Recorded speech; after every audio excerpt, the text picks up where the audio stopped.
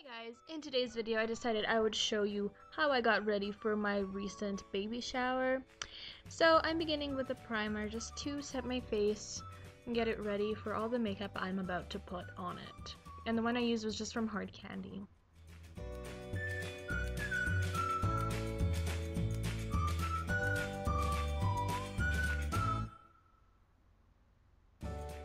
Then taking the Hard Candy Glamouflage Concealer with a flat brush, I just went ahead and put that over any imperfections or discoloration on my face and underneath my eyes as well just to, you know, get rid of those hours that I didn't sleep.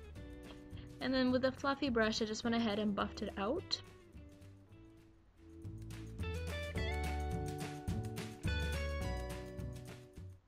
And then taking the CoverGirl Ready Set Gorgeous er, foundation with a beauty blender, I just went ahead and buffed that into my face.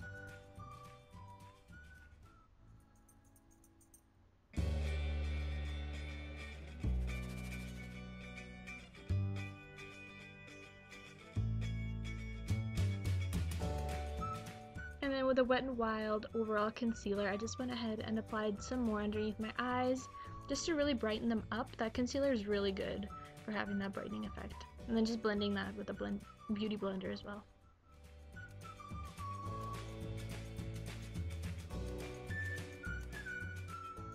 And as I awkwardly hold my powder upside down, that is the NYC Smooth Skin powder that I used for years. I'm just using that all over my face with a fluffy brush.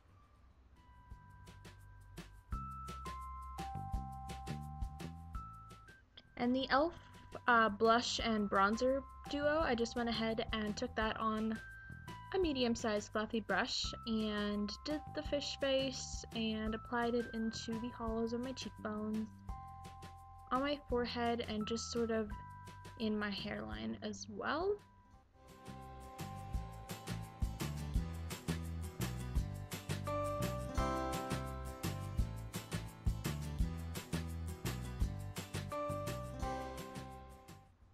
And then with my favorite MAC highlighter, just went ahead and put that on my cheekbones.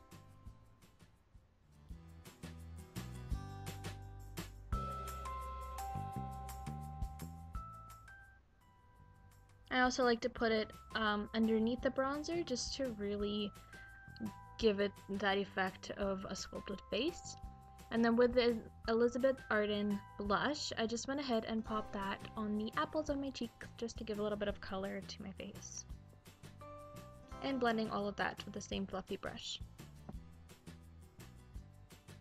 And then I recently started using the MAC Fix Plus to set all my makeup.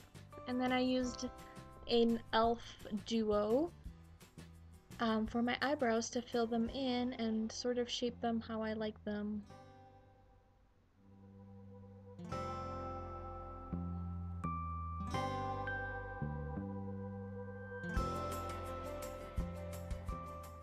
and just using a little brush to blend everything out and that's how you're going to get the most natural effect.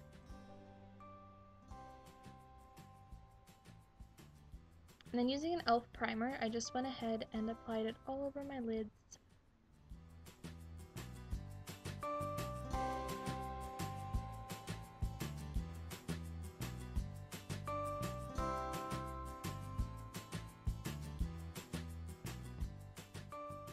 then taking that same highlighter, I just went ahead and used it as a lid color because it's a really pretty champagne that will give you a little bit of shimmer and bring out your eyes.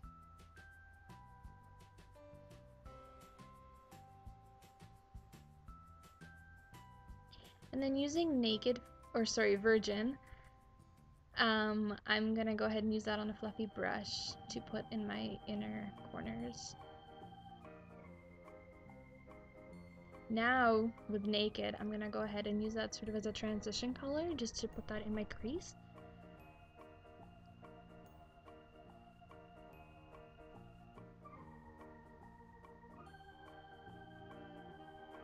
And then taking Buck on a smaller brush and just really working it into my outer corner with slow and steady motions to really make sure it blends in very well.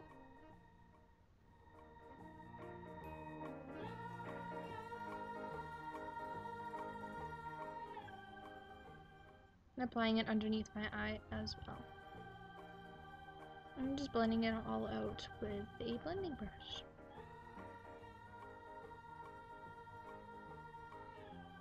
And then with an NYC um, liquid liner, I just went ahead and lined my upper lash line.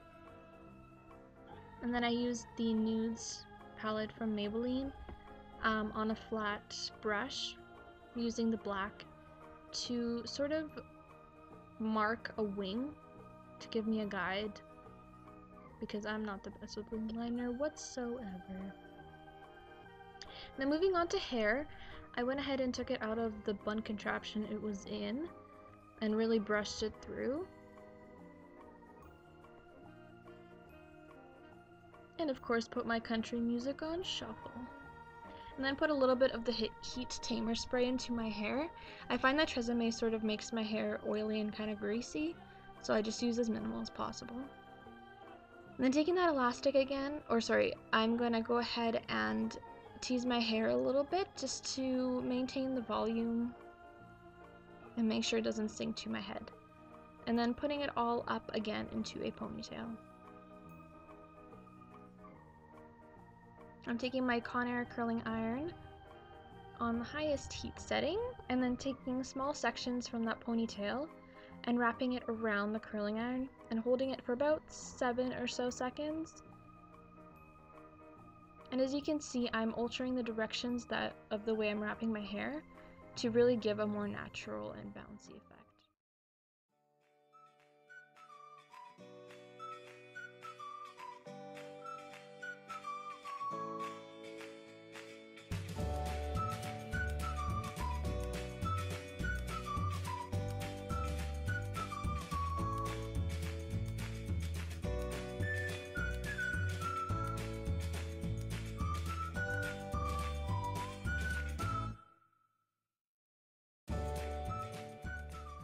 Using the Aussie Mega Hairspray, I just went ahead and sprayed a little bit in just to make sure that my curls have some hold.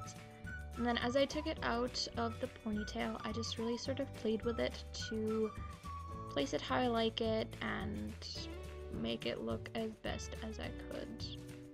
Teasing it a little bit and just making it all cute. And then I went back to my eyelashes. I went ahead and curled them and then used the Lash Sensational Mascara. The reason I do this is so that my eyeliner has some time to really dry and set. Because what I found in the past, if I do my eyelashes right after I do my eyeliner, my eyeliner ends up being on my eyelash curler and that just defeats the purpose.